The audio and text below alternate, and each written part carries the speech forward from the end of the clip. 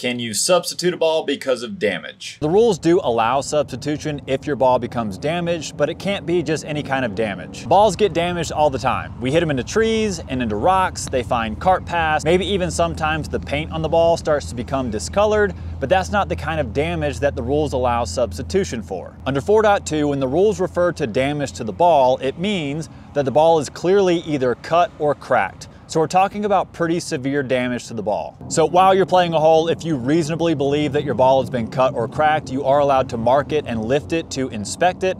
If it is cut or cracked, you can substitute it for a new ball and replace that new ball on that original spot. So here's an example of a ball that's been scratched or scraped where substitution is not allowed. And here's an example of a ball that's clearly been cut or cracked, so substitution would be allowed.